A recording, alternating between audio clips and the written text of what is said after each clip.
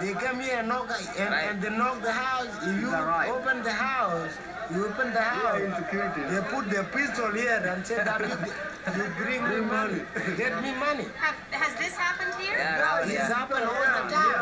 You're kidding We came here to America as a freedom place, and we find bre- a black people here as a criminal. I, I wish I could tell you that all Americans but black are good-hearted and, uh, no, no, put them all in one category. Yeah, black, There are black good- Americans. there are good black Americans and good white I'm Americans black. and I, I can bad say I'm black. You see me?